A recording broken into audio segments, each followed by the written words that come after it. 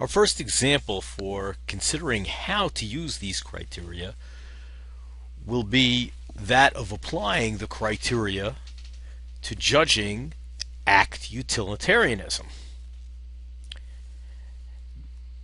And we've gone through some examples, I think, you know, some of the weaknesses, the strengths of act utilitarianism, but let's try to kind of put it all in perspective.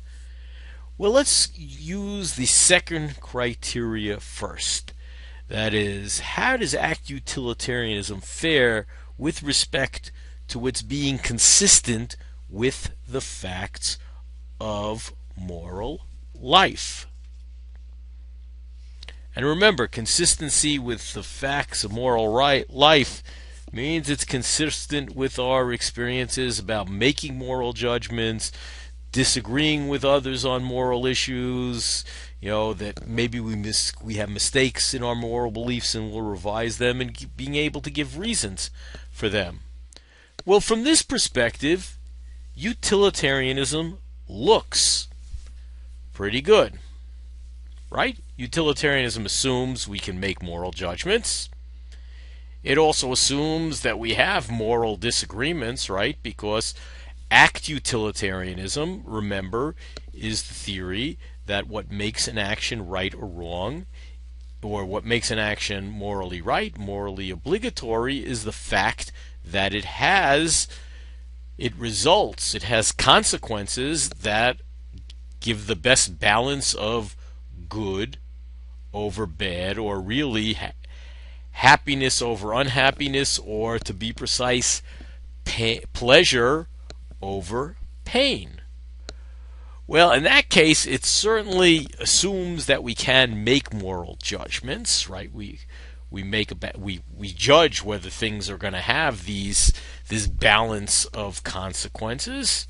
We have disagreements about it, about whether things are right or wrong, and sometimes the disagreements amount to disagreements about what the consequences, the uh, pleasurable and painful consequences of the particular action is.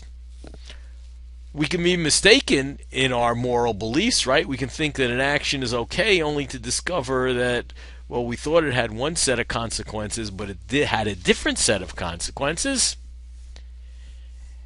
And finally, it provides, you know, supporting reasons for our moral judgments. It'll explain ultimately why a certain action is right or wrong and it explains it in terms of the consequences, the pleasant, the pleasant and painful consequences, and the balancing off of the two. And that, if it's a right action, it's the one that has the best consequences of any alternative to that action.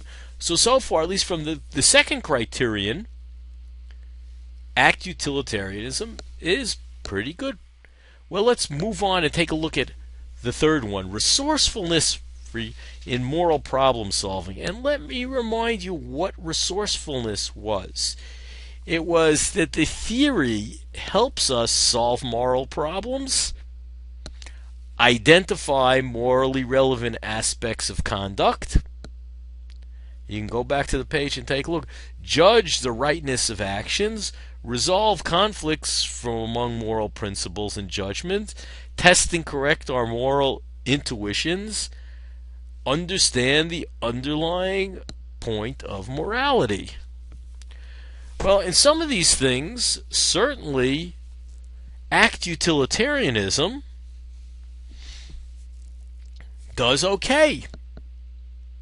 And make sure, if you're a little confused, make sure you understand the distinction between act utilitarianism and rule utilitarianism and what the two different theories say. Because, okay, so in general, it certainly helps us solve certain moral problems.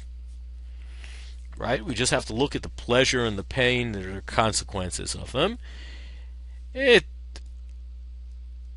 tells us what the morally relevant aspects of conduct are, right? The consequences, the painful and pleasant consequences of the act.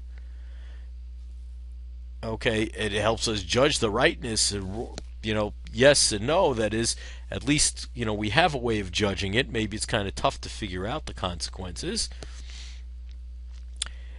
It'll help us resolve you know, from among moral principles and judgments, right? Because we'll apply the criteria. So, so it does do a lot of this, and then it's it it's lets us test and correct our moral intuitions,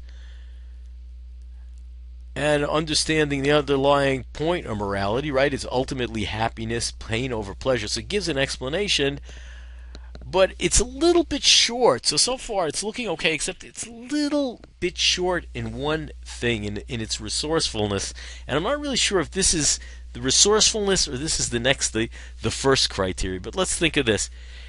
It really can't explain a certain moral judgment that you know the rightness and wrongness of certain kinds of action.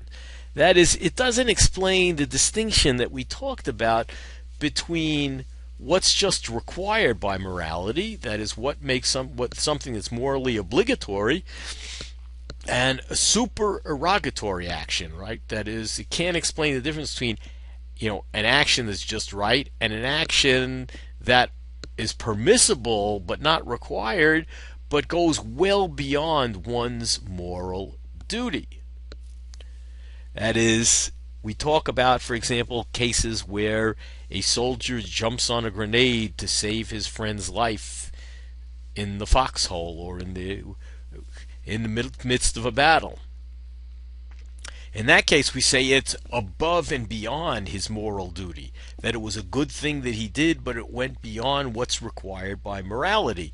It would have been okay if he jumped out of the way just to save his own life, eh, you know, because his life wasn't in jeopardy maybe risking at the same time not helping his friend because he just didn't have time. That's why we call this a supererogatory act. But act utilitarianism can explain this particular distinction that we make in trying to solve the problem of what the person should do. Because it looks like, according to act utilitarianism, that is, it's not a nice thing to do to jump on the grenade, but since it causes the highest, the, the best balance of pain over pleasure for everybody, you're required to jump on the grenade. So it really doesn't help us solve this particular issue that is what we should be doing in cases where we think certain actions are above and beyond the call of duty, but nonetheless good things to do. So it looks like from this criterion, act utilitarianism comes up a little bit short. One thing I should note though is don't think that this is a you know knock a knockdown argument against act utilitarianism.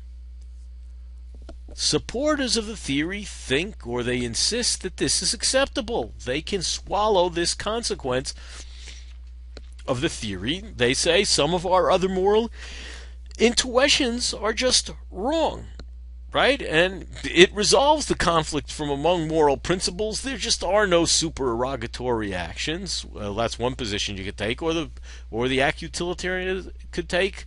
That supererogatory actions are morally required. So at least from the from principle number three, resourcefulness, or the usefulness in moral problem solving, act utilitarianism comes up at least a little bit weak.